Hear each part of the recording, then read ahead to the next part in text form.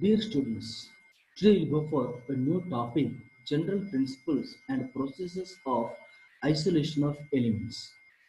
We know that hardly few elements such as gold, silver or platinum are available in free state.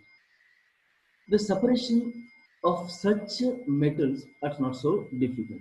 But the thing is, maximum of the metals which are present in combined state, for example, iron, which is combined with oxygen, gives hematite and magnetite.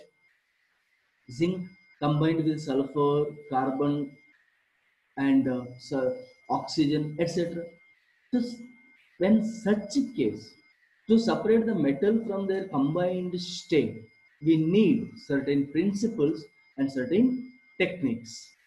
That study of the principles and processes for the separation of metals from their combined state is the study of general principles and processes of isolation of elements. Before going to the topic in detail, we'll go for a certain terms involved in the technique.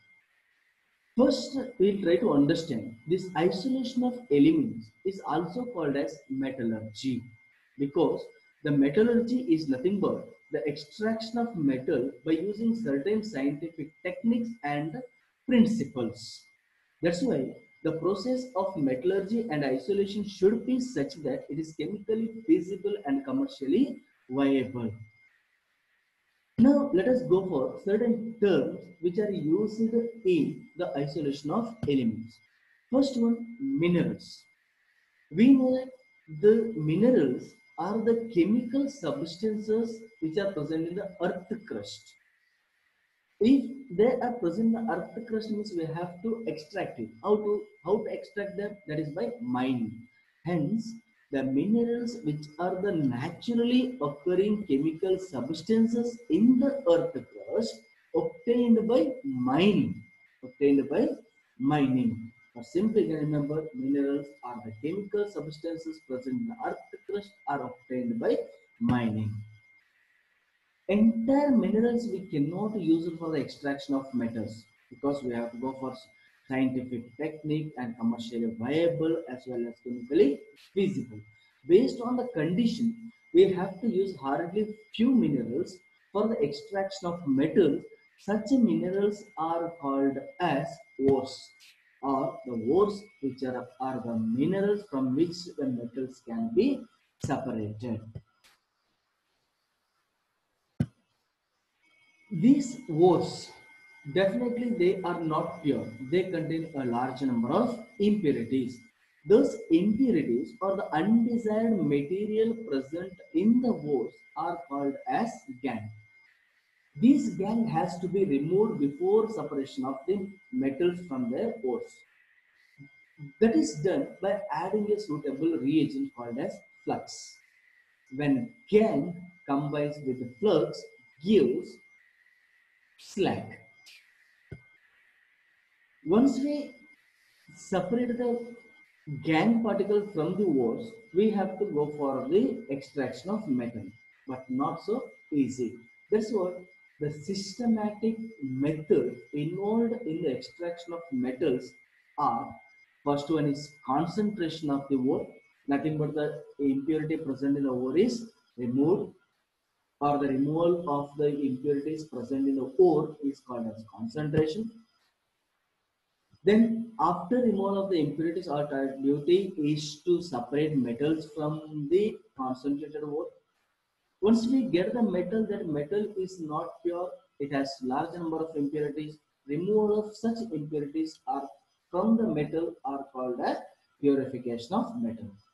These techniques or the entire scientific and technological process used for isolation of the metal from its ores is known as metallurgy. That's what I said in the beginning metallurgy it is a scientific method and which involves a technological process for the separation of metals this entire process concentration isolation of metal and purification of metal this entire process is simply we can call it as what metallurgy then we can go for occurrence of metals The elements which are very in abundance, that means availability is different. Among metal, aluminum is the most abundant. Among the metals, aluminum is the most abundant. It is the third most abundant element in the earth crust. It's a major component of many igneous minerals including mica and clays. Many gemstones are impure forms of alumina and the impurity ranges from chromium to cobalt. Chromium to cobalt. Iron is the second most abundant metal in the earth crust. It forms a variety of compounds and their various uses make it a very important element. We know that a large number of uses of iron. It is one of the essential elements in biological systems as well. Now you can go for certain metals and whose chief ores and their compositions. Aluminium whose chief ore is bauxite, whose composition is AlOX OH3 minus 2X. Kaolinite, it's a form of clay, Al2OH4 Si2O5. Iron, its chief ore is hematite, Fe2O3, magnetite, Fe3O4, siderite, FeCO3, iron pyrites, FeS2. Another metal, copper, its chief ore copper pyrites CuFs2, malachite CuCO3 CuOH twice, cuprite Cu2O, copper glans Cu2S, zinc its chief ore zinc blende ZnS, calamine ZnCO3, zincite ZnO. These are the some metals whose ores, nothing but chief ores and their composition. Now you can move on to the concentration of ores. Already said from minerals we will separate ores, those ores which contain large number of impurities. Our target is to separate those impurities. Then removal of the unwanted particle or the impurities from the ores is called as concentration of ores or also called dressing or benefaction. Remember, concentration is nothing but the removal of the or gangue or the unwanted impurities present in the ores. Impurities present in the ores.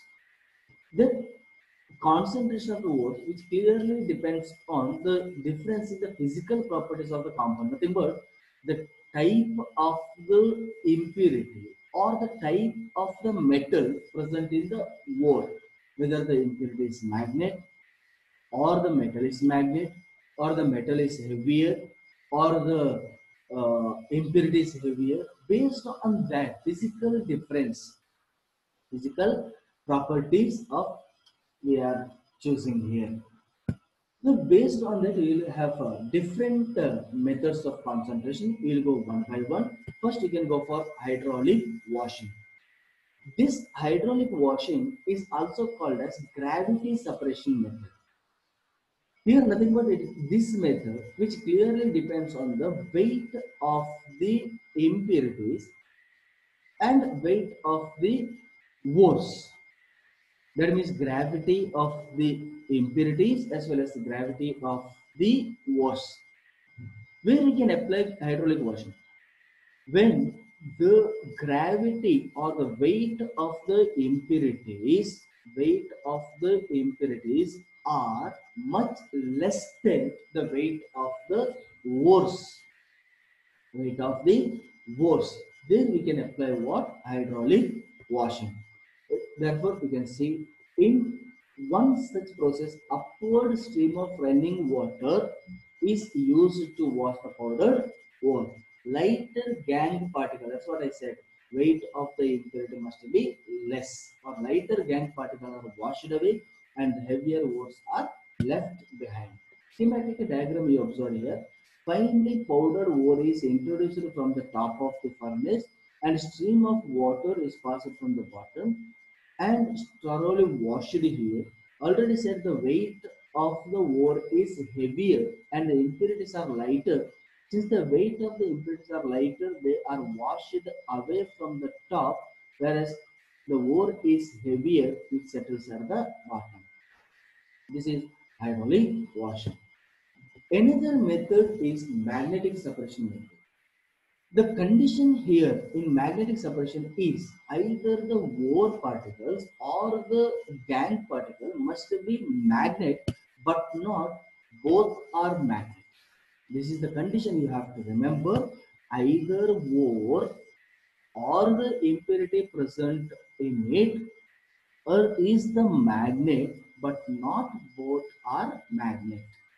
That is, if either the ore or the gangue one of these two is capable of being attracted, nothing but which is magnet, by a magnetic field, then such separations are carried out. The ground or finely powdered ore is carried on a conveyor belt which passes on a magnetic roller. Schematic diagram you observe here. Out of the two wheels, one wheel or one roller is a magnet, the other one is non-magnetic. A brass belt is placed here finely powdered ore is introduced on the non-magnetic wheel. When it is reached to the magnetic wheel, already said out of the two things, one is uh, gangue present in it or the ore should be magnet, which is magnet is attracted by the magnetic wheel and which is non-magnetic which is thrown away. If suppose the magnetic means the ore is magnetic, then it is attracted by the magnetic field and ore comes here. The, then impurities are non-magnetic, which is thrown away. Hence, magnetic and non-magnetic particles are separated by this method.